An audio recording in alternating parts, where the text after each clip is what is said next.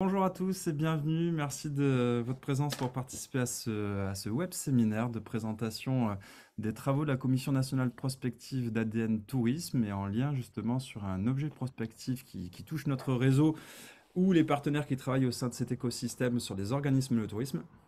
On accueille aujourd'hui euh, Mathieu. Salut Mathieu, je vais te laisser la, la parole tout, euh, tout à l'heure. Pour information, ce web séminaire est enregistré.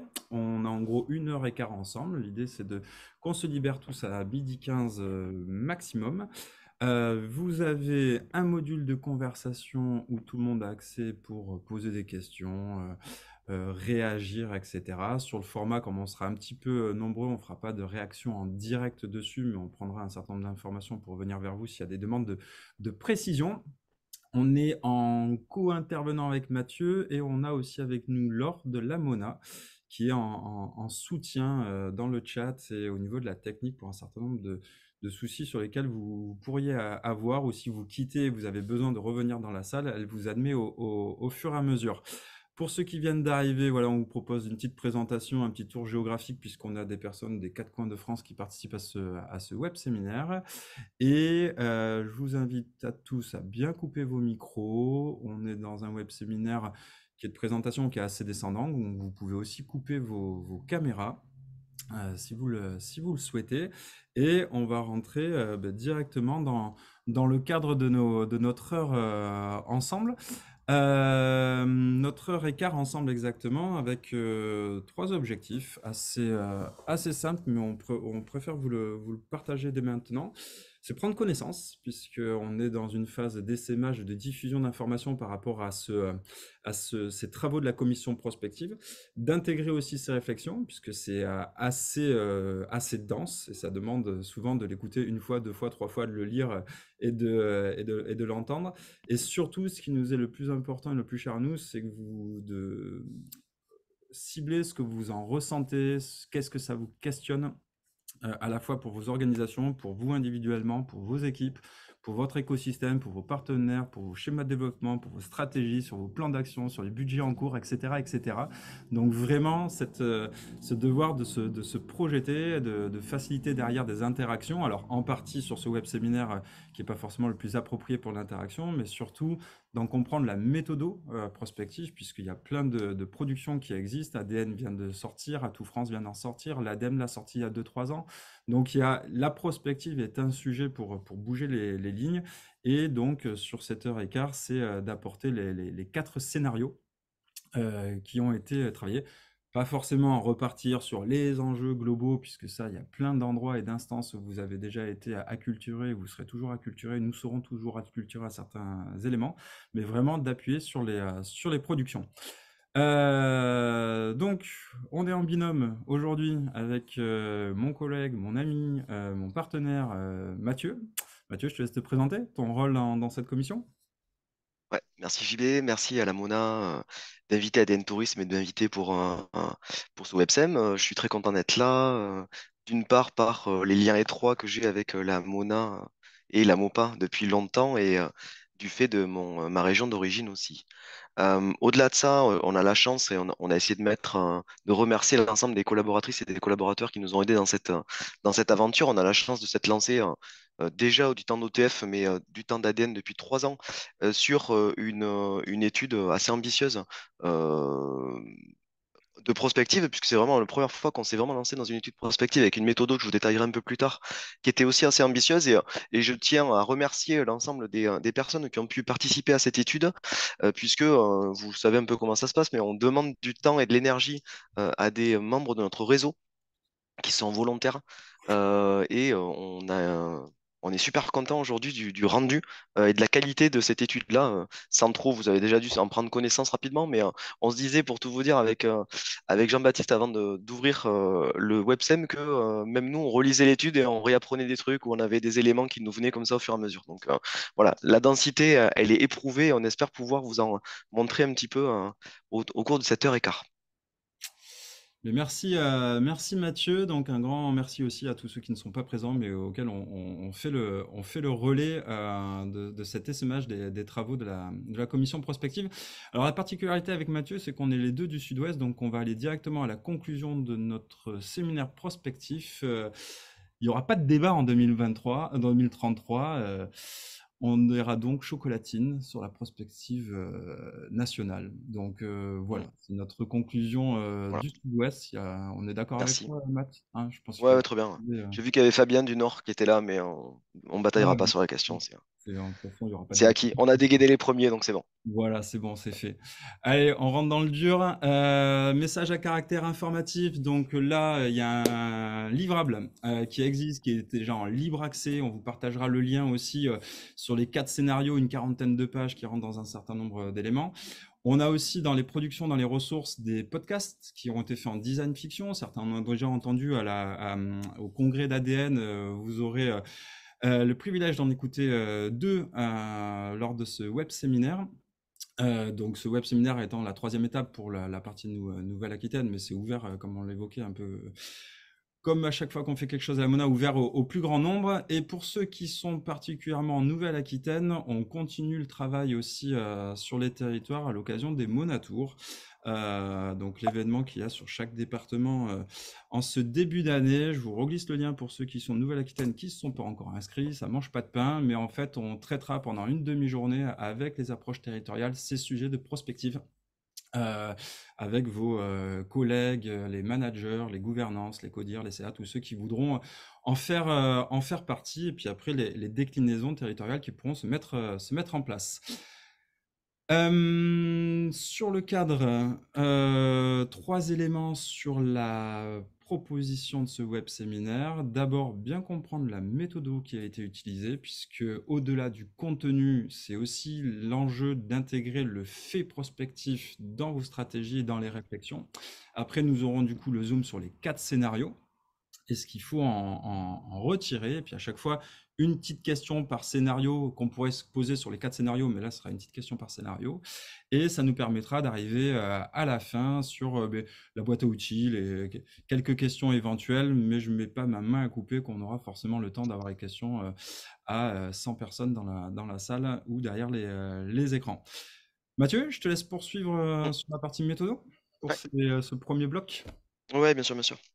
Euh, bah déjà, tu, tu as, je pense, euh, présenté un, objet in- intéressant euh, en propos liminaire, c'est que, en effet, on n'a pas euh, pas la prétention de se dire qu'on est là pour, euh, pour éclairer sur les tendances du tourisme d'aujourd'hui, sur euh, un état des lieux, des différentes tendances. Il y a des personnes qui le font très bien, des structures qui le font très bien. tu as cité Atout France, mais je pense que sur d'autres thématiques, on a aussi chaque année des événements phares, notamment vous en avez un dans votre région à Pau, il me semble, en septembre, qui te permet de te mettre à jour sur la partie tendance. Donc nous, là-dessus, on s'est vraiment orienté, on a essayé en tout cas de trouver une méthodologie pour nous orienter sur notre cœur de métier, que sont les missions, les organisations euh, de nos organismes de tourisme. Il se trouve qu'avec euh, Office de tourisme de France et, et, euh, la Mona était déjà partie prenante de cette, de cette commission prospective, on faisait de la prospective comme Monsieur Jourdain. En fait, on avait des bonnes intentions, on avait de la motivation, on avait des bonnes sources, mais il nous manquait de la méthode. Et on a eu la chance euh, de, d'avoir, euh, de, de nous faire remonter en tout cas euh, euh, une, la bonne pratique d'une, prospectiviste et sociologue qui s'appelle Julie Rigg, qui était intervenue sur Destination Campagne, je crois, dans le Tarn en 2020 ou, 2000, ou 2019, je sais plus, et qui est venue nous parler d'une méthodologie prospective. Et en fait, la commission prospective d'ADN a pu utiliser une méthodologie, comme vous voyez là, si vous êtes adepte des, du, design, du design thinking, vous devez connaître les méthodologies en diamant, qui nous a permis en trois ans, en gros, d'expérimenter cette méthode avec une grosse phase de divergence qu'on va vous détailler par la suite. Et aujourd'hui, on est dans une phase plutôt de convergence. Et en fait, ce que je veux juste préciser, je ne vais pas vous détailler, euh, puisque je vais vous le détailler un peu plus tard euh, maintenant, notre méthode. Mais en gros, ce qui était intéressant, c'est que dès le début, on avait cet objectif d'être dans une phase de convergence et dans une phase d'expérimentation de terrain. Et euh, ce que Jean-Baptiste vient de vous montrer sur le, un des exemples qui est aujourd'hui euh, actif sur la Mona, c'est que vous voyez bien qu'on part d'un document national, de contenus qui sont produits au fur et à mesure pour les illustrer pour une application de terrain. Donc vraiment, on a essayé de s'illustrer dès 2020 euh, en se disant on crée une étude nationale, mais avec une volonté d'application de terrain. Concrètement, comment on s'est comment on s'est déployé? Si on passe à la suivante, euh, j'y vais pour, euh, pour être dans le, le- concret. On a essayé de se dire, alors c'est le truc qui paraît euh, un peu, comment dire, ça nous semblait, on, a essayé de pas le prendre par-dessus la jambe, mais le premier élément qui nous a été demandé, c'est de bien cadrer notre objet prospectif. Alors, j'ai une illustration qui est intéressante là-dessus, c'est que il fallait éviter d'avoir un objet prospectif qui n'en est pas un d'ailleurs, mais qui aurait pu être quel est l'avenir du tourisme dans 10 ans? En fait, ça marche pas ça comme, euh, comme étude. Vous pouvez pas faire une étude sur ce sujet-là. Déjà parce qu'on n'est pas devin et puis en plus ça, ça peut pas fonctionner tel quel. Et ce que nous a apporté comme rigueur en fait euh, la méthode euh, qu'on a suivie, c'est déjà de pouvoir cadrer de manière beaucoup plus précise en fait notre besoin, c'est-à-dire qu'au lieu d'avoir des questions sur l'avenir du tourisme, on est plutôt à se poser la question. Alors, je vous prends pas celle qu'on a mis là, mais on aurait pu se poser la question, par exemple, quels seront les nouveaux modèles de collaboration actifs dans notre domaine d'activité dans 10 ans? Quelles pourraient être les nouvelles pratiques touristiques des visiteurs dans 15 ans, etc.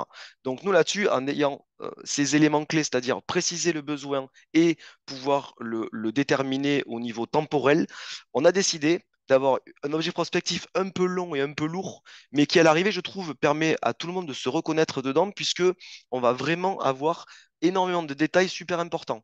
Et c'est pour ça que notre objet prospectif a vite été comment les mutations des comportements touristiques vont impacter les organismes institutionnels dans les écosystèmes à l'horizon 2033.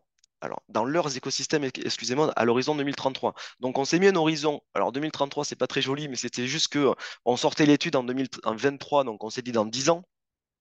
On parle bien de la notion d'écosystème, donc on n'est pas seul euh, au niveau de nos organismes de tourisme. Et vous voyez bien qu'il y a la notion d'impact des organismes avec derrière en sous-jacent les missions et les métiers et, qui répondent donc à des, changements de comportement euh, des euh, parties prenantes. Voilà. Donc vous avez déjà cet objet prospectif qui nous permettait de cadrer notre étude. Ensuite, on s'est demandé qu'est-ce qui euh, justement notre objet prospectif. Et on a déterminé sur ce hum, sujet-là plusieurs variables. Donc les variables, ce sont des éléments qui impactent fortement notre objet. Et on a étudié ces variables, c'est assez intéressant à noter parce que c'est peut-être pas évident pour vous. On a étudié l'évolution des variables depuis 10 ans et on a essayé d'imaginer quelle serait l'évolution de ces variables dans 10 ans. Donc vous avez en gros un impact de 20 ans, en gros un, gros, euh, euh, système d'études sur euh, une quinzaine, vingtaine d'années qui est assez intéressant, qui permet déjà de se projeter dans un niveau beaucoup plus humble. En fait, si vous voulez répondre à la question directement, c'est quasi impossible. Par contre, essayer de l'approcher par différents aspects et de se poser en disant, bon, qu'est-ce qui s'est passé depuis cinq, dix ans sur ce sujet et qu'est-ce qui pourrait se passer? Ça, c'était vachement intéressant et ça nous a permis vraiment de nous projeter euh, de manière assez euh, par petits pas, je dirais, dans notre thématique. Là-dessus, on a pu euh, regrouper par grandes thématiques justement ces variables. Donc, on a un grand thème société, un grand thème climat et un grand thème tourisme. Sur la société, j'en prendrai un comme ça rapidement. Par exemple, le rapport au travail. Ce qui paraît assez évident depuis dix ans, c'est que on a bien entendu des méthodes de travail qui se sont déployées et qui se sont même démocratisées. Alors on parle de la délocalisation, on peut parler du télétravail plus récemment, et on va avoir de nouveaux éléments, ce qui était des signaux faibles encore il y a quatre cinq ans, qui est devenu aujourd'hui beaucoup plus normatif, qui va être par exemple la quête de sens, le fait de bouger assez régulièrement, etc., etc. Sur la partie climatique, hein, euh, tout est intéressant, mais euh, sur la prise de conscience écologique, là où on avait une fine partie de la population qui avait cette prise de conscience écologique et qui, et l'appliquait euh, régulièrement il y a cinq six ans, on est aujourd'hui sur quelque chose de beaucoup plus euh, aussi euh, euh, partagé par euh, les populations. Alors je sais que là-dessus, on est encore sur un système euh, assez euh, euh, bizarre où on annonce que euh, on a une prise de conscience écologique qui a un impact dans ses choix, mais dans l'étude aujourd'hui des choix, euh, notamment de consommation, on voit pas trop trop l'impact encore, euh, c'est encore à la marge. En tout cas, c'est quelque chose qui, euh, pour nous, nous paraît super intéressant à étudier. Euh, et pour finir sur le tourisme, vous voyez bien qu'on avait quand même un, léger, euh, euh, on a des, des, variables qui sont très orientées tourisme, ce qui est normal connaissant les personnes qui étaient autour de la table.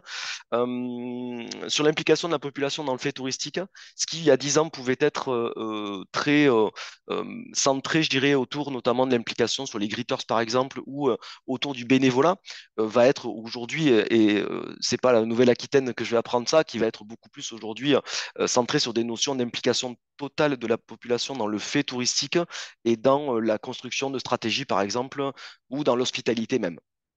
Donc voilà, ça c'était la partie variable qui nous a beaucoup beaucoup aidé euh, et on remercie d'ailleurs la totalité des personnes qui ont participé à l'élaboration et à notre contribution sur ces variables, que ce soit euh, euh, dans les monatours que vous avez déjà fait dans, dans, des années précédentes ou pour les participants aux rencontres techniques ADN Tourisme de Dunkerque, dans lesquelles on avait justement utilisé vos retours d'expérience pour voir quels étaient l'impact aujourd'hui concret de ces variables sur vos organisations déjà en 2022. Euh, pour finir, on, a essayé aussi de s'élever dans notre étude euh, en euh, s'inspirant aussi de, citations, hein, ou voire même de travaux qui ont déjà effectués. concrètement, le but de l'étude, et vous l'avez vu, vous l'avez bien compris, c'est de sortir des scénarios. Mais on, a quand même quelque chose de très important à vous annoncer dès maintenant sur les scénarios. En fait, les scénarios ne sont pas une finalité en soi. Je pense que c'est un message que vous avez déjà entendu plusieurs fois et que vous comprenez aujourd'hui. En fait, c'est pas les scénarios en eux-mêmes qui vont vous orienter vers une décision stratégique claire. Par contre, euh, ils vont être un support, et c'est le terme important là-dessus, c'est que ces scénarios-là vont être un support propice à votre projection vers des futurs souhaitables. Euh, ce que nous disait par exemple Julie Rigg, euh, c'est pas marqué là-dedans, mais c'est un élément que je peux vous apporter, c'est que la vérité se trouve souvent au croisement des chemins. C'est-à-dire qu'en fait, vous prenez les quatre scénarios actuels, on aura sans doute des éléments de chaque scénario qui vont être la vérité, enfin la vérité, qui vont être l'évolution de nos sociétés dans dix ans. Donc voilà, juste à, tenir, euh, tenez bien ça en, tête, hein, c'est que euh, on va pas vous dire l'avenir, on n'a pas cette prétention-là. Par contre, on espère amener des éléments de réflexion euh, dans, les, dans vos évolutions stratégiques à 10 ans. JB Ouais, merci, euh, merci ah ben Mathieu. Je glisse en même temps euh, bah, un peu d'interaction euh, pour que ça puisse commenter toujours par, par écrit et que tout le monde se nourrisse des ressentis des uns et des autres au fur et à mesure de notre, de notre écart ensemble. Donc voilà, avec ce nouvel éclairage méthodologique, qu'est-ce que ça vous évoque, cette notion de prospective euh, entre comment vous êtes arrivé dans la salle, ce que vous en connaissiez, et puis c'est euh, comprendre le cheminement qu'il qui y a eu. Donc c'est vraiment commentaire ouvert. Euh, merci de jouer le jeu ou pas jouer le jeu, c'est comme vous voulez, mais c'est pour pour qu'on se nourrisse mutuellement. ça permet aussi de partager l'URL, raccourci là. qui renvoie vers, vers l'espace ADN où vous trouvez notamment euh, ce document euh, synthétique euh, sur, les, sur les scénarios et qui reprend en partie la, méthodologie et les quelques citations que tu as, que tu as évoquées. deuxième partie, hop, c'est parce qu'il y avait un lien, je me suis fait avoir. je recommence. Hop là. Euh, deuxième partie de notre, euh, de notre programme ensemble, c'est justement rentrer dans le, dans le, dans le cœur du sujet avec euh, les, scénarios. Donc, quatre scénarios, un tendanciel et un contrasté. Il s'avère qu'on verra le, tendanciel en dernière, dernière partie. Euh, plusieurs choses à savoir sur, ce, sur ces scénarios, euh, donc euh, que vous connaissez en partie, changement immobile, régulation centralisée, coopération locale, futurs libéraux. On se retrouve pour chacun d'entre eux avec un, on se retrouve avec chacun d'entre eux avec trois façons de les décortiquer. Un, un regard sur le contexte sociétal, euh, qui touche beaucoup euh, une partie des variables que tu, euh, que tu évoquais précédemment, Mathieu. une autre partie qui sera entoquée au niveau du tourisme, local, mondial, régionalisé, chez les privés, chez les institutionnels, vraiment le, fait touristique et son décloisonnement, hein, le lien avec les transports, le lien avec la mobilité, la santé, l'éducation, les loisirs, vraiment dans toute, dans toute sa logique écosystème. Et c'est là que prend tout le sens de chaque mot de l'objet prospectif dans le, dans le défrichage. Et, euh, et le, le, côté euh, euh, entonnoir pour voir l'impact, les orientations que prennent les organismes institutionnels du tourisme. Donc c'est le troisième volet. autour de, ces, de chacun des, des, scénarios. Donc société, tourisme, organisme de tourisme, et bien sûr à l'intérieur qui dit organisme de tourisme fait le lien entre privé, service public, l'évolution des services publics, et c'est ça qu'on va vous retransmettre avec Mathieu. Et merci à, à France qui a ouvert le bal de, la premier, du premier commentaire à la question qu'on vous, euh, qu'on vous proposait.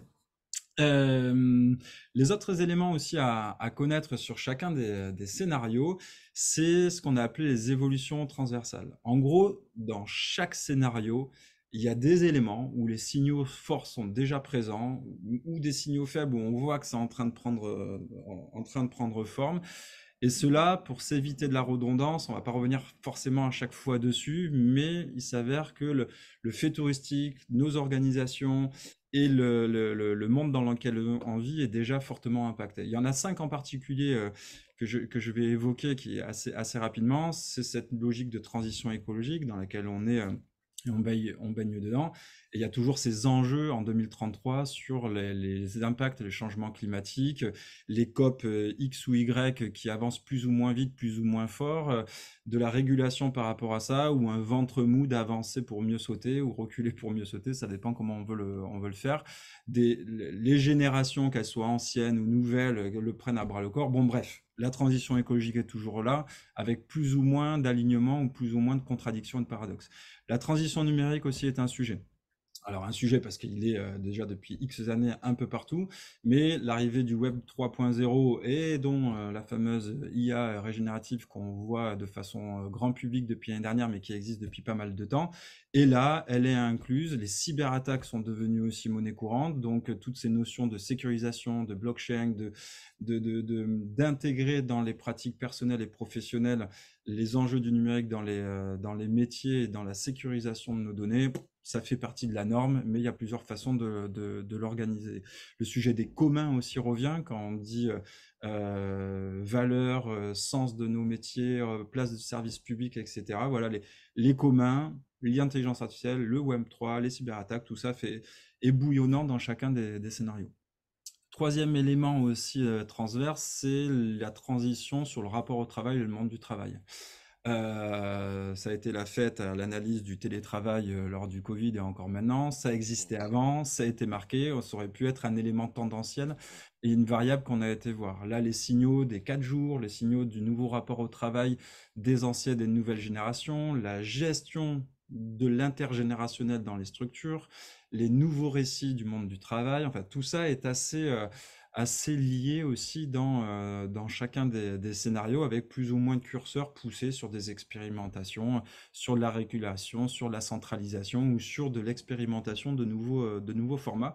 En tout cas, ce qui est en fil rouge partout, c'est cet équilibre et cet attachement de chaque individu à l'équilibre entre vie pro et vie perso. Le quatrième élément qui est une évolution transverse, c'est que dans tous les scénarios, quoi qu'il se passe, il y a toujours du tourisme. Il y a toujours du tourisme lié aux loisirs et aux vacances donc euh, qui casse aussi un peu la terminologie. Il y a la, proximité euh, plus ou moins poussée ou le voyage international plus ou moins poussé, poussé, mais en gros, la demande, elle est là. Donc, il y a énormément, les variables se jouent beaucoup plutôt sur la transition de l'offre et des services qui sont associés. Euh, à ces nouveaux comportements de la demande qui est toujours présente et de, du tourisme qui, renaît toujours de ses cendres s'il y a une crise ou qui est toujours propulsé par le privé ou le public selon les scénarios. Et le cinquième élément, qui n'est pas des moindres et qui donne un socle sociétal qui n'est pas anodin, c'est euh, une poursuite, on va dire, d'une crise un peu euh, euh, démographique, démocratique, pardon, citoyenne, entre où met le curseur les politiques par rapport à toutes les transitions que je viens d'évoquer en face, et en face, quel est le regard du citoyen, de l'engagement citoyen et de la confiance citoyenne par rapport aux, politiques sur les différents sujets? Et donc évidemment, entre une coopération locale et entre de la régulation centralisée, euh, qui sont euh, deux aspects euh, assez opposés dans les, dans les scénarios, ben, la crise démocratique, démocratique est là, la fracture sociétale est là, les sujets du coup qui sont sur la place de la collectivité, le vote, l'engagement citoyen, parfois même jusqu'au communautarisme, etc., sont des variables qui sont présentes dans chacun des, scénarios. Donc voilà les cinq qu'il faut avoir en tête qui ne disparaissent, pas euh, au fur et à mesure des, euh, scénarios. Voilà pour le, pour le cadre. On vous invite bien sûr à, commenter, poser des questions euh, sur, le, sur le chat au fur et à mesure s'il y a besoin de, de précision. Et puis on rentre dans le dur du coup du premier, euh, du premier scénario où nous allons euh, nous préoccuper des futurs libéraux. Donc, euh, où les zones touristiques sont des enjeux de, prédation économique. Et pour lancer le bal, B, on va écouter ensemble un premier podcast qui s'appelle Marche naturopathique. et ces podcasts ont été créés avec les méthodologies de design fiction. Qui dit design fiction, c'est s'accrocher sur des signaux forts ou faibles de, maintenant et on tire un petit peu fortement sur la, sur la corde pour créer des, des, des récits tangibles pour faire réagir pour ceux qui aiment les séries, etc. Si vous connaissez Black Mirror, ben, on est clairement dans ce cadre-là et ils ont été enregistrés de façon podcast. Et on remercie notamment Aken et la commission prospective pour la, pour la création. Je vous laisse écouter pendant Jean ajuste son blouson sans manches en écorce de châtaignier assoupli, orné du logo du groupe Raccord. Raccord pour vous raccorder à la nature. Nous sommes le 10 juillet 2033 et la radio annonce une 42e journée de canicule consécutive. Heureusement, ici, en Creuse, la dense végétation fait gagner quelques degrés. Ce matin, Jean accompagne un groupe de touristes lors d'une marche naturopathique. L'activité commence à 6 heures du matin afin de profiter pleinement de la fraîcheur matinale. Les membres du groupe sont venus passer leurs vacances sur les bords du lac de Vassivière dans une résidence grand luxe entièrement éco-responsable. La publicité leur a garanti un séjour au frais, avec des températures ne dépassant jamais les 35 degrés, même en plein après-midi, grâce à la voûte végétale. Ils sont assurés d'un retour à la nature, d'une déconnexion totale, sans réseau ni Internet, ainsi que d'une qualité de service exceptionnelle. Les activités proposées sont en harmonie avec cet esprit, telles que les marches naturopathiques, au cours desquelles les participants écoutent les bruits de leur corps, de la nature, afin de les rapprocher.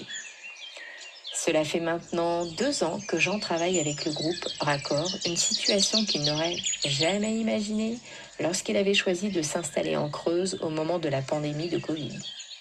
À l'époque, il avait démissionné de son poste d'ingénieur au sein d'une grande entreprise pour retourner à la Terre, embrassant les valeurs de la décroissance. Pourtant, après la crise de 2029, le groupe Raccord était venu en aide aux collectivités ruinées. Consistant en une reprise de sites touristiques pour une bouchée de pain. Le géant de l'hôtellerie avait notamment racheté le lac de Vassivière pour y construire un complexe de fraîcheur destiné à une clientèle fortunée. Jean avait alors fait partie des manifestants exprimant son désaccord avec ce projet. Mais finalement, le deal passé entre Raccord et les acteurs locaux avait repoussé ses craintes. Il s'était laissé convaincre par les arguments très RSE de Raccord. Le groupe, pour attirer des talents, euh, devait afficher du sens et de l'exemplarité et donc se montrer respectueux de l'environnement et des populations locales, ce qui s'était avéré être un excellent argument marketing pour les clients. Et puis, vu la conjoncture, j'en avais pas vraiment le choix. Il avait donc accepté ce poste de conseiller en séjour naturopathique à temps choisi. Il travaille désormais pour la coopérative des acteurs qui a remplacé l'Office de tourisme. Cette coopérative regroupe quelques anciens de l'Office et les sous-traitants du groupe Raccord. Le groupe affiche d'ailleurs fièrement cette collaboration locale exemplaire avec une coopérative d'acteurs. Cet après-midi, une fois sa randonnée naturopathique terminée, Jean va changer de rôle une fois de plus. Il reprendra sa deuxième activité au sein de la COP, ingénieur en recyclage. Aujourd'hui, les derniers stocks de vieux magazines de l'Office de tourisme Monts et Lacs, datant des années 20, seront recyclés en compost pour le jardin de l'école.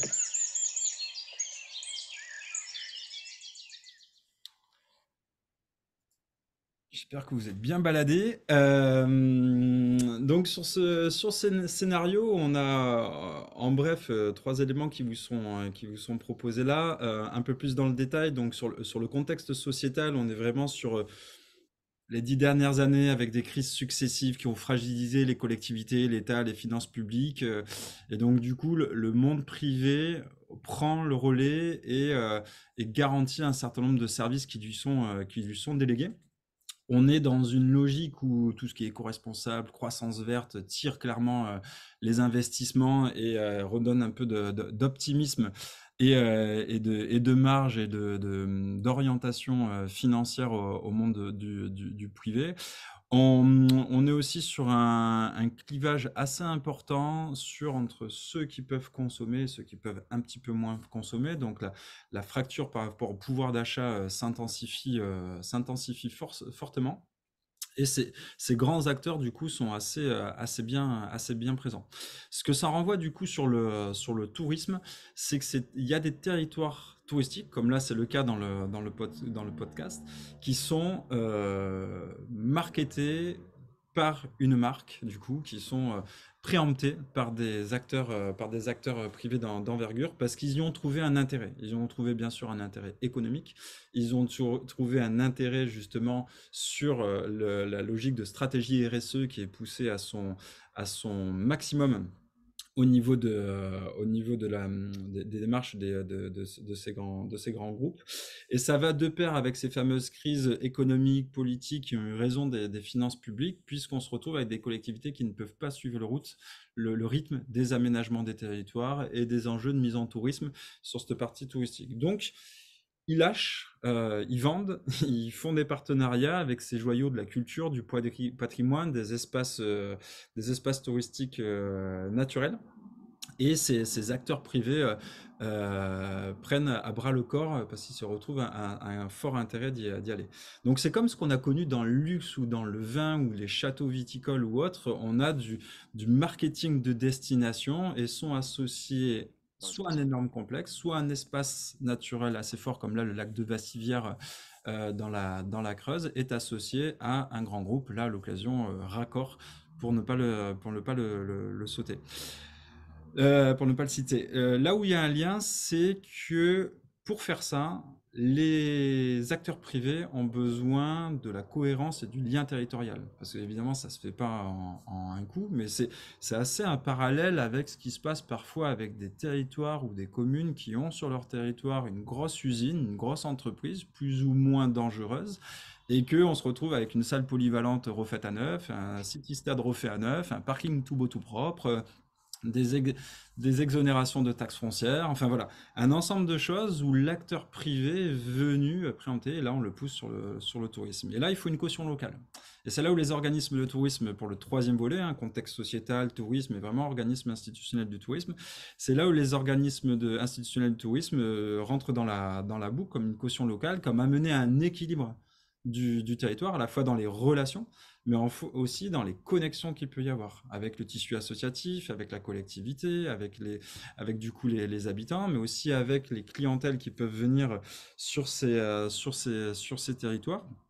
En gros, il travaille à quoi? À ce mix d'acceptabilité entre une stratégie d'entreprise qui vient apporter de l'investissement sur un territoire comme ce qu'on a connu dans d'autres transitions industrielles avec euh, dans d'autres secteurs euh, d'activité on vient mener aussi le liaison avec euh, qu'est-ce qu'il y a à boire et à manger dans la stratégie RSE de ces grands groupes, mais qui amène de l'emploi. On l'entend dans le podcast, une personne en opposition qui dit, ben, un moment, en fait, je me suis laissé tenter, j'ai trouvé un, équilibre.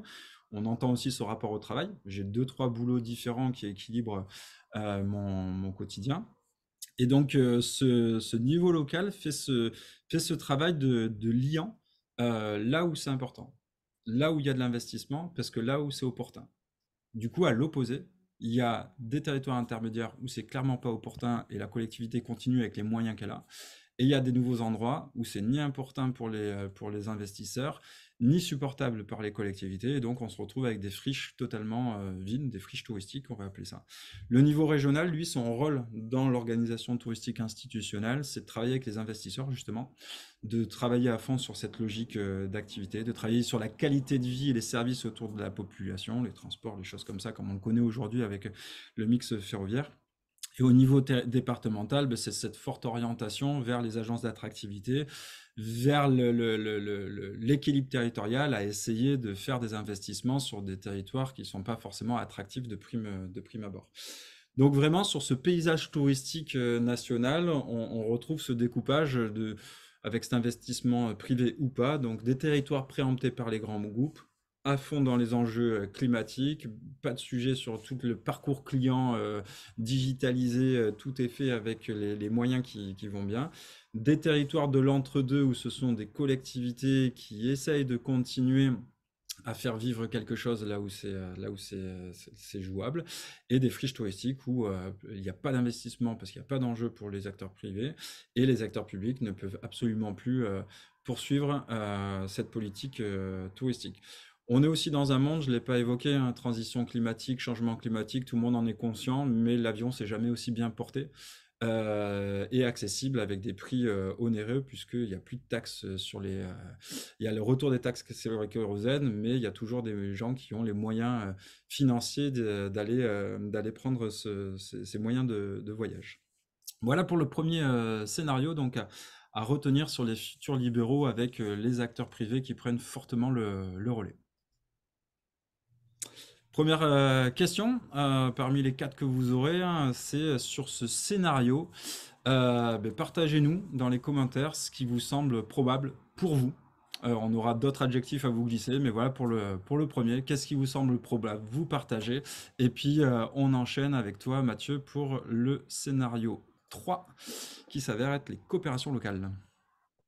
Euh, merci JB. Euh, très bon résumé déjà de, cette première partie sur les futurs libéraux. Je, prendrai juste un élément qui a été euh, partagé justement au niveau du, podcast quand notre, notre héros, notre, interlocuteur va parler justement de la notion euh, de- tourisme local et de communauté. Donc je, garderai juste ce terme-là. Là, on va justement rentrer dans la notion de communautaire où on a euh, euh, créé un scénario euh, avec, vous verrez, des éléments assez, assez forts là-dessus, qui s'appelle coopération locale. Ce- cette notion de, coopération locale, en fait, pour nous, elle est vraiment résumée par, ce que je vais vous dire, mais en gros, elle est vraiment résumée par un élément clair, c'est que l'initiative vient du local et vient de communautés qui sont segmentées. C'est-à-dire qu'en fait, vous allez retrouver avec des communautés qui sont à la fois géographiques, mais aussi qui sont des communautés d'intérêt. On va, je vais vous déployer ça, mais c'est vraiment très intéressant que vous, vous gardez ça en tête. On est sur une notion vraiment de développement et de déploiement de, de- d'offres communautaires, mais des communautés qui sont pas toutes. euh, on n'est pas que dans le positif. Voilà. Vous l'avez peut-être compris avec le futur li- libéral. hein, il y a des éléments qui sont des éléments qu'on peut juger aujourd'hui, au jour d'aujourd'hui, comme des éléments allant dans le bon sens, d'autres pas dans le bon sens. On essaie juste de, d'amener des, des éléments de lecture.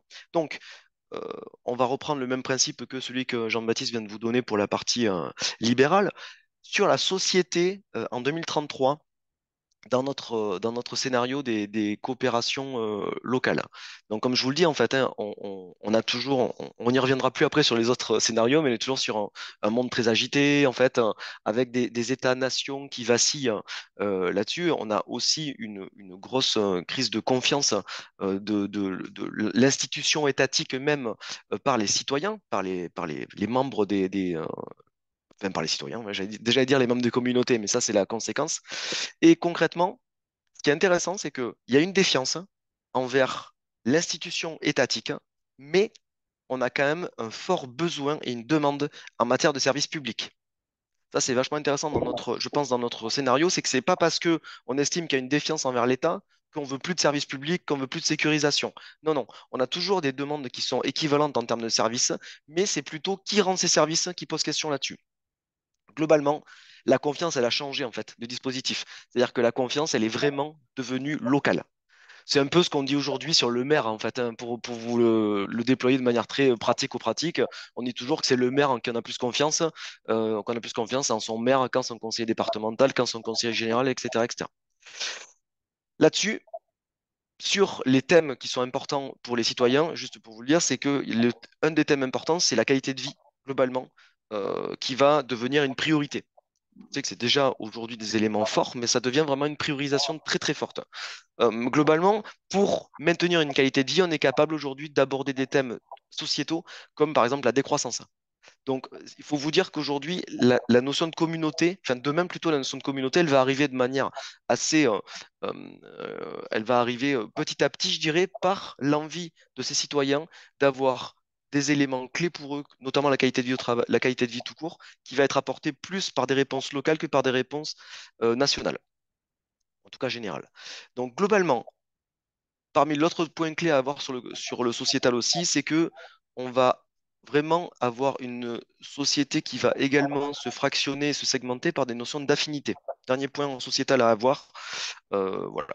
Donc ça, c'est sur la partie sociétale. Donc on s'est regroupé en communauté, euh, on est vraiment sur une notion de recherche de qualité, une notion de recherche affinitaire.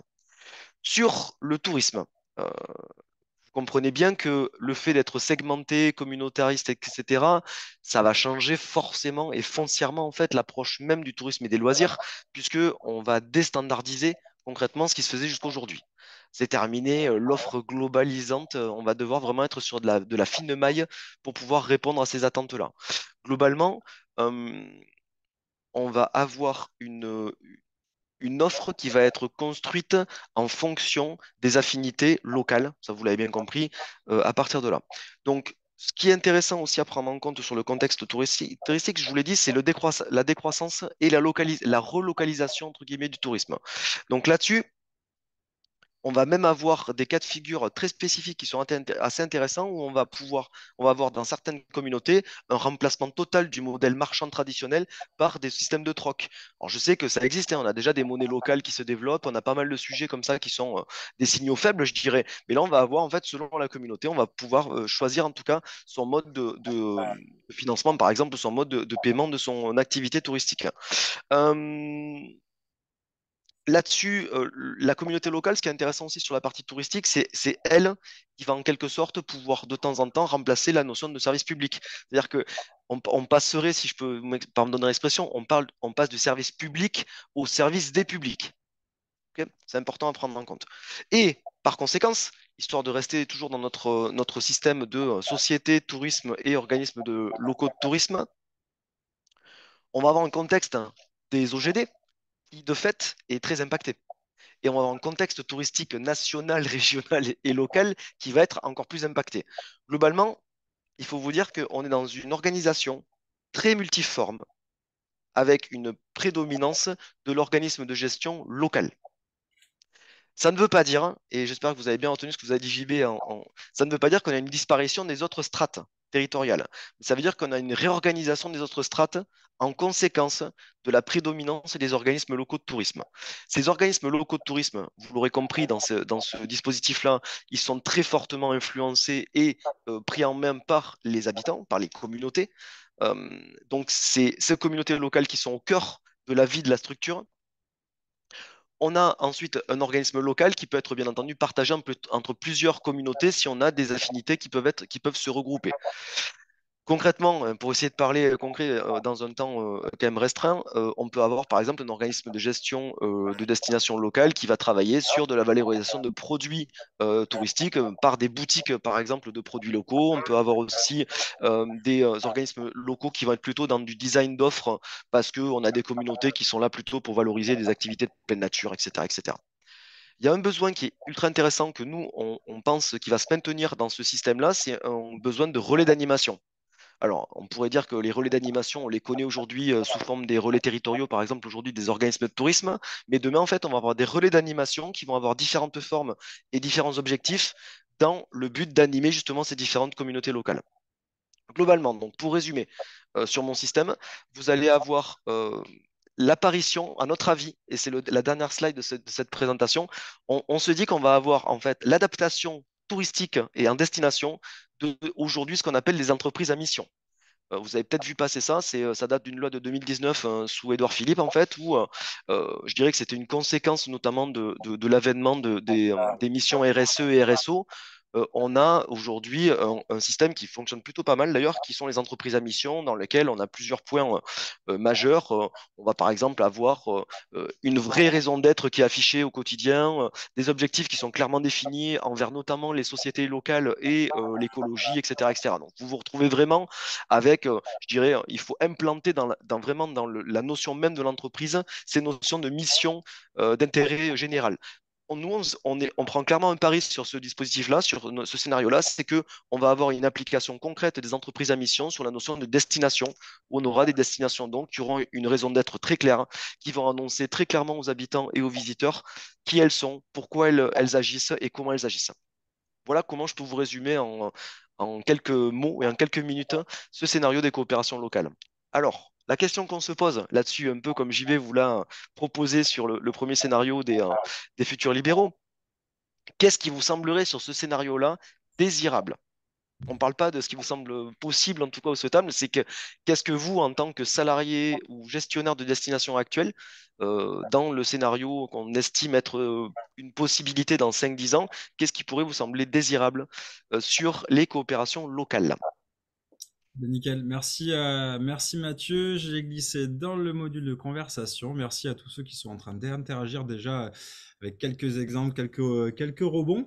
Donc, on parlait de probable tout à l'heure, on parle de désirable maintenant. Ça peut se questionner pour les, les, deux et quatre scénarios qui vont venir. Et puis, on enchaîne avec un nouveau podcast qui va nous faire la transition vers les, vers les deux prochains. Ce podcast s'appelle Drapeau d'alerte. Bonne écoute. Drapeau d'alerte. Florian réajuste ses lunettes de sécurité au-dessus de son masque. C'est pas possible, comment ont-ils pu arriver jusqu'ici?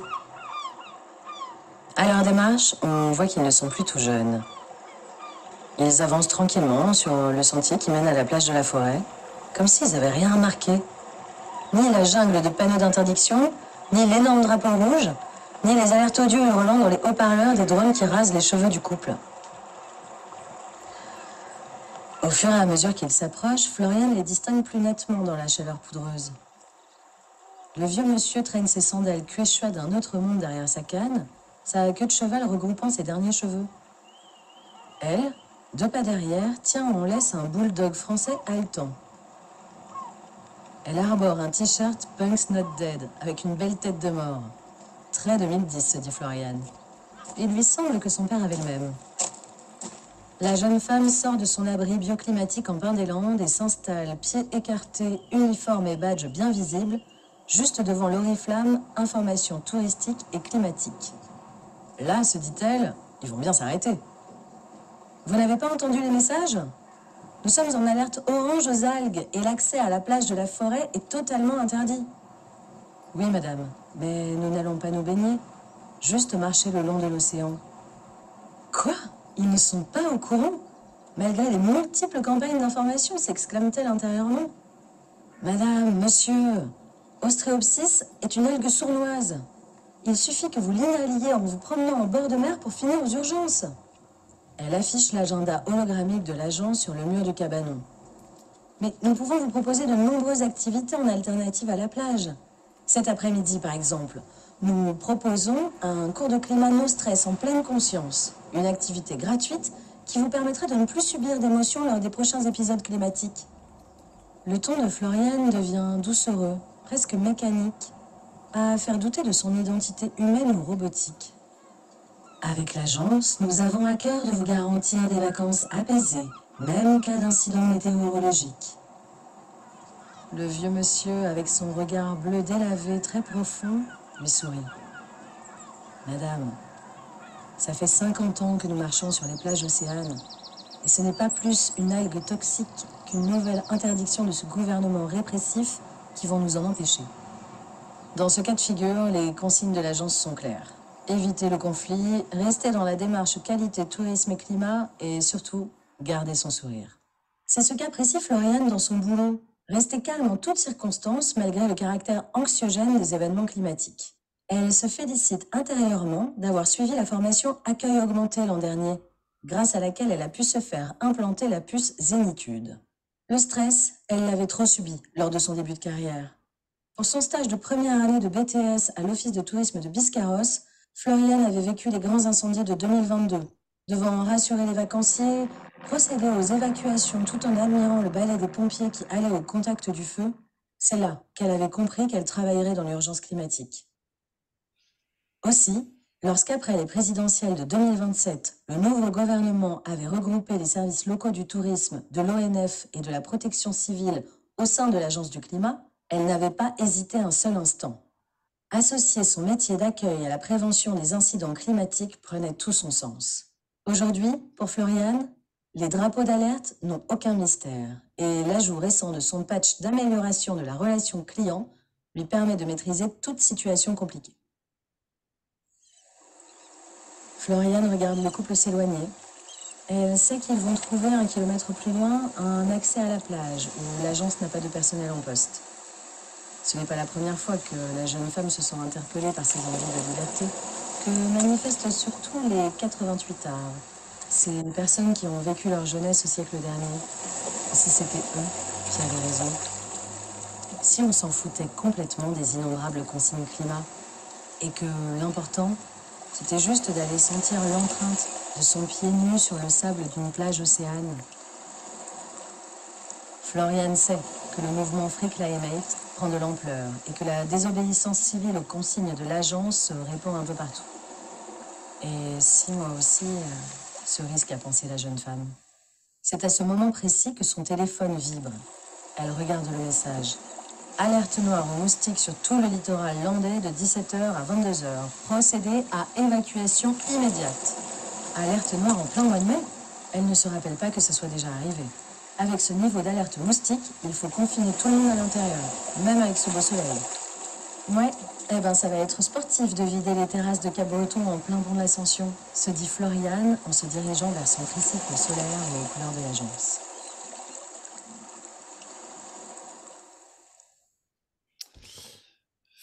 Fin de, la balade. On aurait pu rajouter les. On est pas mal. Mathieu, je te laisse enchaîner? Ouais, euh, après euh, ces perspectives, j'imagine que euh, qui vous ont fait un peu froid dans le dos à certains égards, euh, on comprend bien. On va euh, justement parler euh, euh, d'un euh, d'un scénario euh, très instructif qu'on a appelé régulation centralisée. Euh, c'est vrai qu'on aime bien le sous-titre euh, La revanche de l'État protecteur. En gros, on pourrait le résumer celui-là en disant que c'est un pouvoir central fort et une société qui est contrainte, mais qui l'accepte une société sous contrainte, excusez-moi, mais qui l'accepte. En gros, ce qui est, euh, ce qui est à retenir sur la partie sociétale de ce, de ce scénario euh, de rupture, c'est qu'on estime qu'en gros, euh, il y a eu énormément de catastrophes à la fois écologiques et économiques qui se sont enchaînées. Il faut se dire que dans les 10 ans à venir, euh, ça va être chaque année, on aura 3-4 euh, grosses catastrophes écologiques et euh, plusieurs euh, catastrophes économiques qui vont vraiment impacter le besoin de réassurance des citoyens et qui vont entraîner une acceptation d'avoir plus de régulation et plus de contrôle en échange d'une sécurité plus importante. C'est que ça qui est dur quand on crée des scénarios prospectifs, c'est d'essayer de pas trop se faire peur et d'essayer de, justement de décloisonner euh, la raison euh, de- des sentiments. Mais en gros, voilà sur quoi on se dit. On se dit, c'est très clair là-dessus, c'est que on a remis au goût du jour une action publique centralisée et normalisée qui va pouvoir en fait être dans une notion de planification globale. On l'accepte, je vous le répète, parce que on est mieux sécurisé derrière et qu'on est en sécurité grâce à ça. Globalement, il y a une grosse notion d'adaptabilité aussi par rapport aux citoyens qui vont être, bah, qui ont l'habitude de vivre, déjà on le voit à notre époque, qui ont l'habitude de vivre euh, avec ce genre d'événements euh, plus réguliers, donc ils vont être dans une notion euh, d'acceptabilité, d'adaptabilité beaucoup plus grande. Euh, un, élément à prendre en, compte aussi sur la partie euh, sociétale, c'est que euh, on a une forte évolution technologique hein, qui est prise en main par les pouvoirs publics et par l'État de manière à répondre à tous les éléments dont je viens de vous parler, c'est-à-dire notion de crise plus régulière, adaptabilité croissante, contrôle, régulation, etc.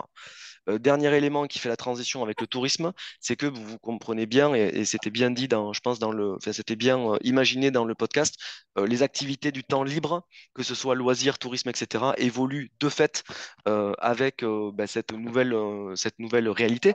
Et on va avoir un fort développement, notamment de la micro-aventure locale. Vous comprenez bien pourquoi, hein, mais en tout cas, parmi les éléments clés qui se développent, on a ces éléments, je pense, qui sont à prendre en, en compte au niveau sociétal. Sur la partie touristique, sur la partie touristique, je dirais que les deux mots-clés, c'est, mais je les ai un peu, un peu détaillé avant, c'est, vous vous en doutez, c'est proximité et régulation. Alors, proximité régulation, euh, je pense qu'on l'a euh, très vite, euh, je ne vais pas m'attarder en effet sur le podcast qui est brillant. D'ailleurs, celui-là, il est vraiment ultra bien détaillé. Vous avez énormément d'éléments clés dans ce podcast-là, sur lesquels je ne vais pas revenir, mais vous avez quand même une offre de tourisme et de loisirs qui va perdurer, vous l'avez entendu aussi, mais qui va être, qui va faire face à une organisation très différente en fait. Euh, en gros, on va, on va devoir s'adapter régulièrement à un contexte changeant on va devoir s'adapter euh, à une, euh, je dirais, à une, à une pratique des, des usagers qui est aussi changeante. Ce qui fait qu'on va avoir en gros un fossé qui va se creuser entre tout ce qui est étatique, tout ce qui est public, qui va donc euh, être euh, cha- changé au cours justement euh, de l'évolution. C'est-à-dire qu'on a les moyens et on a l'implantation qui permet de s'adapter, qui permet d'avoir à la fois de la techno et de l'offre. En gros, l'État va pouvoir, l'É- l'État et les collectivités vont pouvoir vous dire tel lieu euh, n'est pas accessible ou est en alerte, donc euh, euh, déplacez-vous sur notre lieu, etc. Sur la partie publique, hein, je dirais que on est sur une évolution qui est contrôlée, qui, est donc qui est, qui, est, qui est gérable. Après, bien entendu, on va avoir, le, par exemple, l'État va dire ben, sur du micro local, on interdit le déplacement par, par exemple, véhicule personnel, on va devoir prendre du covoiturage ou de l'altermodalité vélo, etc.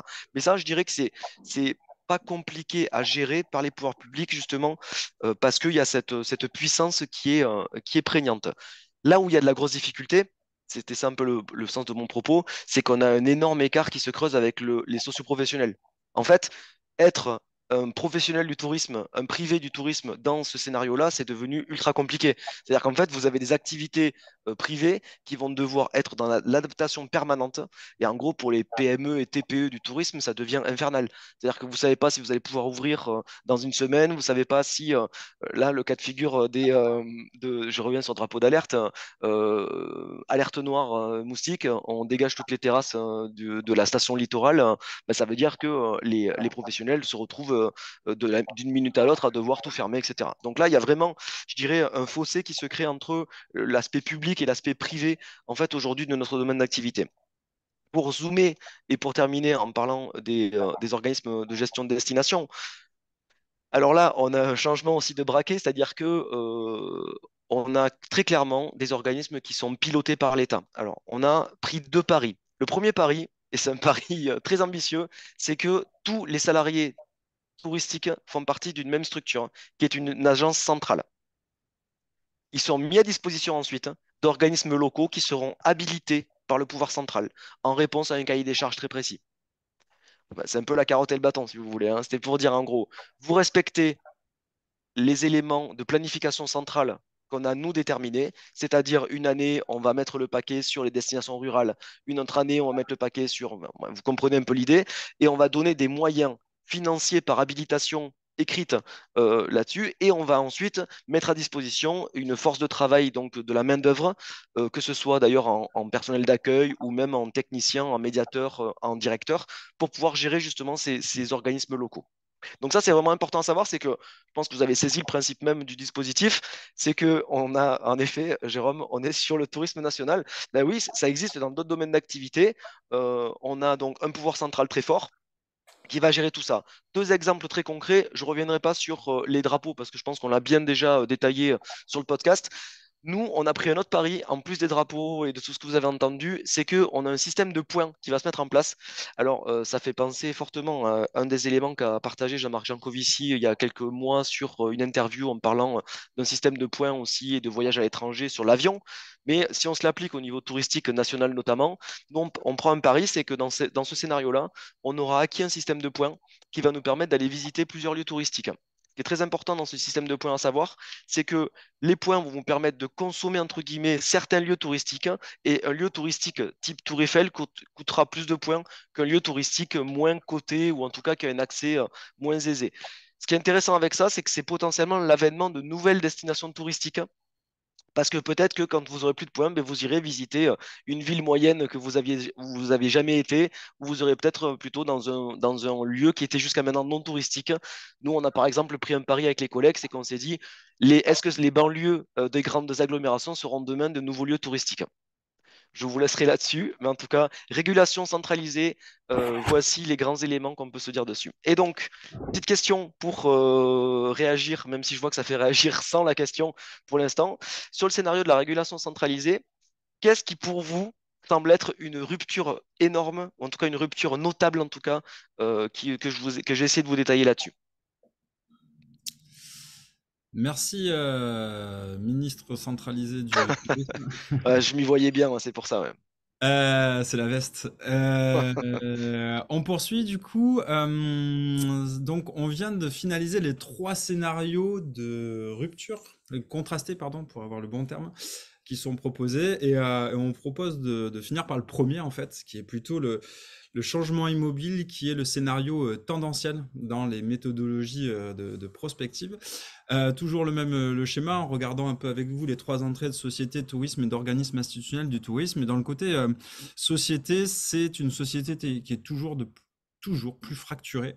Euh, avec, un modèle démocratique qui est de plus en plus minoritaire, qui est remis en question tel qu'on le voit sur certains pays euh, aujourd'hui et qu'on peut voir aussi euh, petit à petit par chez nous et qu'on tire cette tendance à 10 ans. Donc le, 2033 n'était pas anodin, hein. ça couvre une élection régionale, une élection de collectivité locale, comité de communes, ça, couvre aussi une élection euh, euh, présidentielle. Et, donc, euh, c'est en, intégrant ça qu'on avait ciblé cet objet prospectif. Ce qu'il y a aussi, c'est un contexte géopolitique toujours plus tendu, parce que le lien avec la problématique des ressources, de l'accès aux ressources, du changement climatique, donc le mouvement des populations, les pénuries, les enjeux géopolitiques qui en découlent, marquent fortement euh, euh, les, mouvements au niveau de la, croissance, mais aussi au niveau du coup de la démocratie et des relations entre, les individus, entre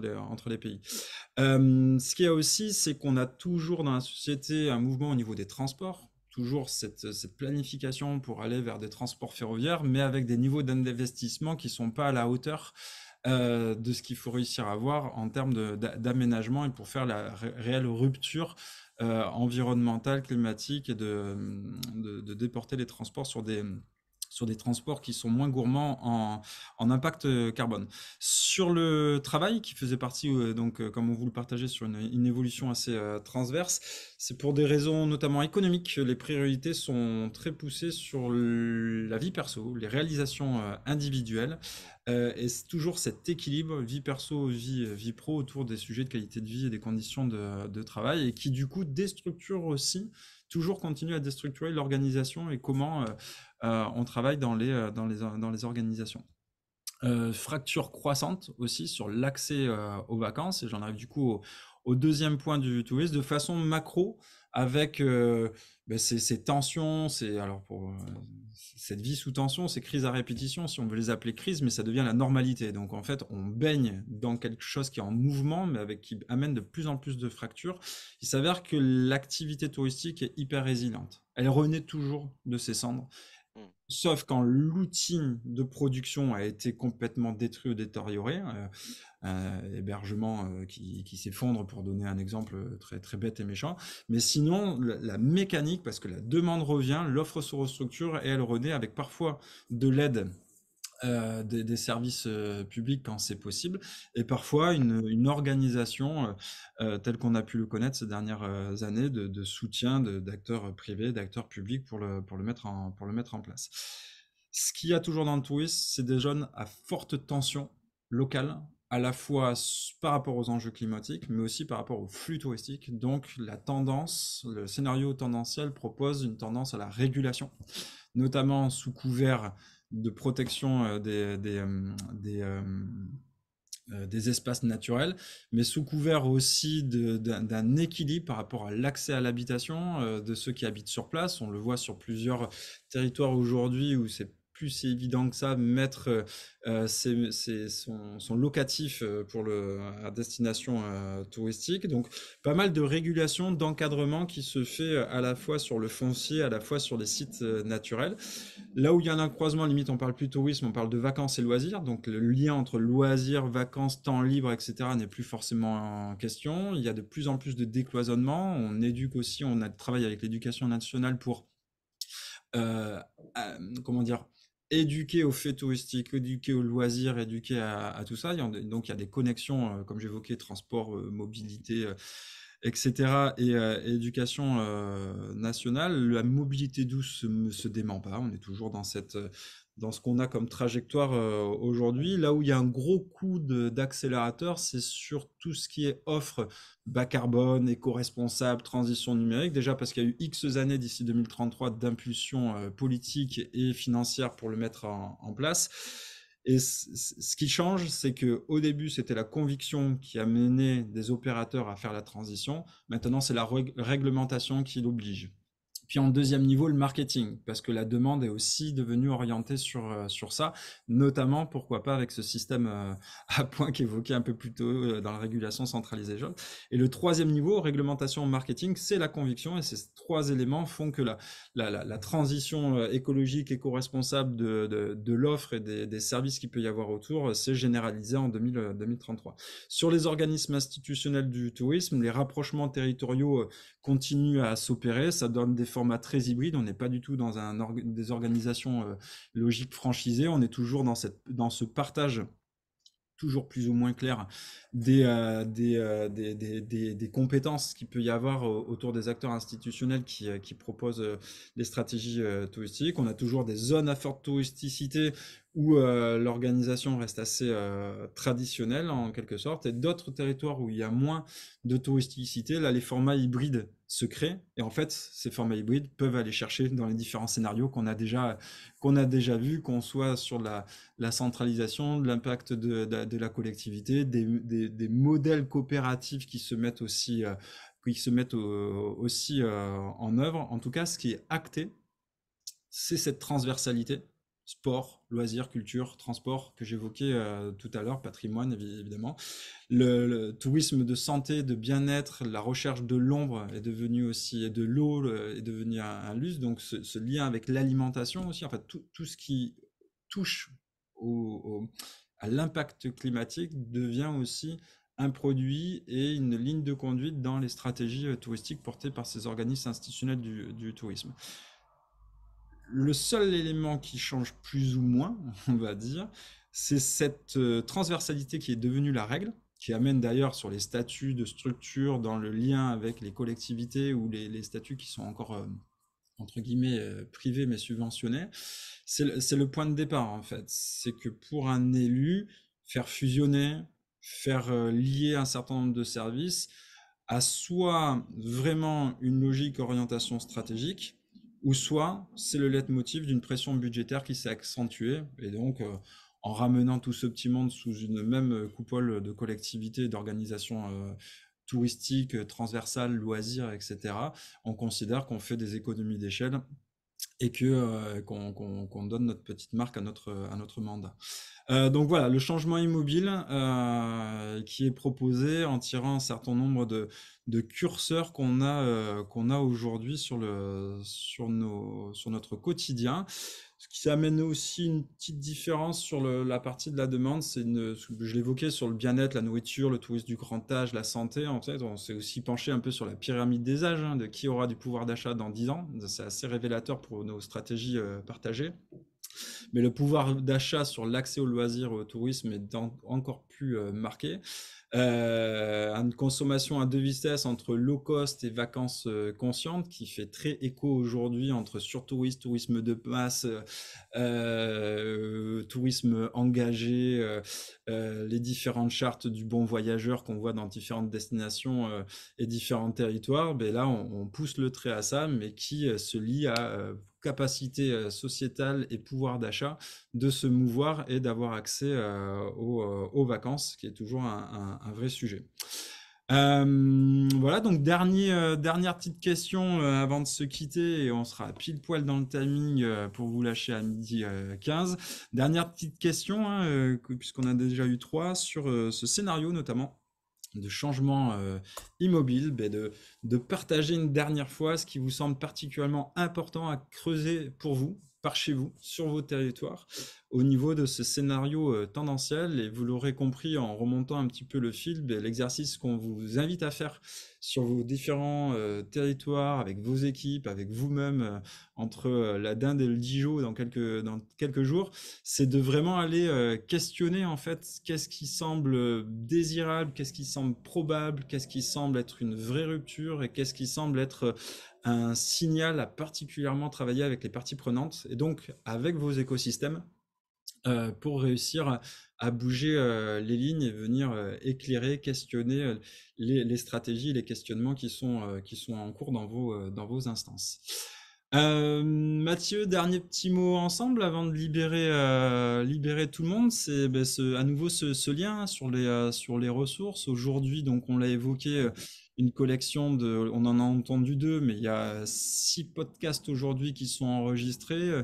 Une mécanique est en train de se mettre en place pour voir ben, comment on enrichit ce centre de ressources, comment on crée de nouveaux podcasts, comment peut-être on met en récit, en écrit aussi euh, ces designs euh, fiction. La commission prospective continue sa route et, et euh, s'est donné pour mission toute cette année de partager les pratiques de diffusion auprès du réseau pour justement créer, des, créer différents, différents formats, toujours se livrer aussi qui est en libre accès, partageable, diffusable à, souhait euh, par les membres du réseau, mais il y avait aussi de présents aujourd'hui euh, quelques organismes de formation et consultants. Et merci de votre présence parce que c'est toujours ce lien avec les différents euh, partenaires qui, amènent le, réseau à évoluer dans les, pratiques. Mais en tout cas, cette ressource n'est pas ancrée. Elle est, comme on l'a noté, évolutive. donc, preneur, vous aussi, à Dentouris, des remontées du terrain sur ces, différents éléments je, me suis marqué un mot de fin, si tu permets, un JB là-dessus, euh, que j'ai peut-être pas euh, dit, et, je, pense que tu seras d'accord avec moi pour qu'on le rappelle. Je voulais dire justement, au regard d'autres études qui ont pu sortir actuellement, enfin d'autres éléments que j'ai vu passer, en fait, on a été, nous, au niveau de la commission prospective et de ses membres, dont JB, Fabien, que j'ai vu aussi là, on a été accompagné au niveau méthodologique hein, par une consultante notamment et un consultant. Mais très important, le contenu que vous voyez, il a été produit, créé et mis en œuvre par des membres du réseau, par des membres de la commission prospective. C'est ultra important, en fait, je me dis ça, c'est tout ce que vous lisez, c'est des collègues à vous qui l'ont pensé, écrit et qui l'ont et nous on l'a mis en enfin avec nous, mais on l'a mis en forme et on, l'a sorti sur ces sur ces contenus-là. Ce que je veux dire par là, c'est que déjà un, je voulais encore les remercier euh, pour leur euh, leur euh, engagement, leur participation et leurs idées. les histoires aussi de podcast, ça a été écrit par des collègues de la commission. Ce que je veux dire surtout au niveau de cela, c'est que c'est pour vous montrer aussi que c'est possible de le faire au niveau local. Alors je sais que ça va être euh, abordé dans le Monatour, mais c'est possible de le faire chez vous, c'est possible de l'adapter territorialement et c'est possible de le déployer. Et c'est pour ça qu'on sera à vos côtés avec nos collègues des, euh, des relais pour essayer de le déployer pendant les 2-3 ans à venir. On se met à votre disposition et qu'on va essayer donc un de vous aider à le déployer, deux euh, de le partager, euh, de partager les bonnes pratiques au reste du réseau pour que ça puisse être, pour qu'en gros la, prochaine séquence des 2-3 ans à venir soit une séquence de, mise en pratique concrète de, ce qu'on a essayé de vous expliquer à travers l'étude prospective. Voilà, je voulais juste revenir là-dessus en disant c'est fait par le réseau pour le réseau, vraiment. On a essayé de le faire euh, en, en circuit court, si je peux me permettre. Une petite économie circulaire de, des apprentissages Exactement. Exactement. le lien, moi, un petit rappel pour euh, les néo-aquitains que j'ai mis dans le commentaire. Euh, c'est notamment quelque chose qu'on traitera du coup sur les 12 rencontres départementales euh, du Monatour de fin d'année. Il y a quelques présents aussi. On aura le plaisir de venir le partager dans les équipes et dans les différents comités de direction, conseils d'administration pour justement lier technicien, gouvernance, décideur, euh, équipe dans cette prise en compte de, de ce sujet. Vous l'aurez compris, ces quatre scénarios, en fait, il n'y a pas de vérité unique. C'est le entre tous ces scénarios que les choses s'éclaireront euh, au fur et à mesure. Il nous reste, euh, Mathieu, à vous remercier pour votre participation, pour vos interactions. Nous vous partagerons l'enregistrement aussi euh, de ce, de ce web séminaire qui, bien sûr, comme d'habitude, vous pouvez encore plus partager à droite à gauche. J'espère que ça vous a éclairé, inspiré, questionné et que ça nous amènera à beaucoup d'interactions ces, prochains mois et, années. Belle fin, de, belle fin de journée, passez de très belles fêtes et merci aussi au soutien technique des collègues euh, qu'on ne voit pas, de la Mona qui était là derrière pour euh, faire rouler toute la machine avec vous. Passez de belles fêtes. Adi chat, merci à tous. Salut JV. Salut.